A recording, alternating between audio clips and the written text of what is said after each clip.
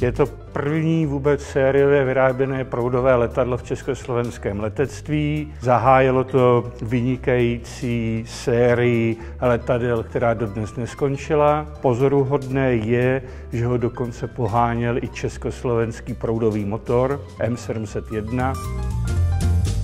To letadlo, které jsme instalovali na střechu Národního technického muzea, je ve speciální průzkumné verzi. Ta se vyráběla pouze v letech 1964 až 1968. Bylo to jednomístné letadlo na té druhé sedačce za pilotem, eh, tak tam byly průzkumné přístroje a radioaparatura eh, k tomu, aby se dosahovalo co největších výsledků. Specifikou tohoto letadla oproti těm běžným cvičným proudovým letadlům je také to, že v té přední části, v té červené, byl zabudován radar.